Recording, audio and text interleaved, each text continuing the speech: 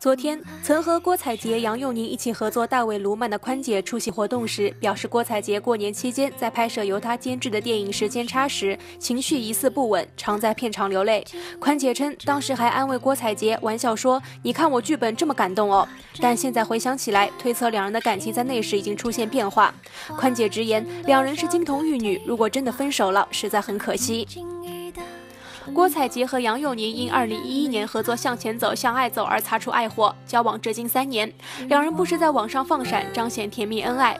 外界还在期待两人好事将近，不料却突然劲爆分手。据悉，两人是因对婚姻没有共识，聚少离多，导致恋情转淡。近日，郭采洁在台北工作，被直击脸又瘦一圈，难掩落寞表情。